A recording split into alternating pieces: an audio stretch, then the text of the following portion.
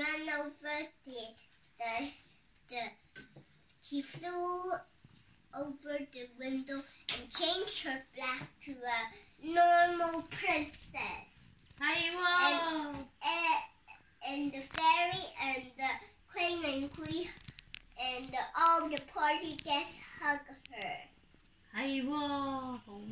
and then she cut Eliza's cake slice of her cake. 예. 예. The end. The end! Okay, Tara, read this one.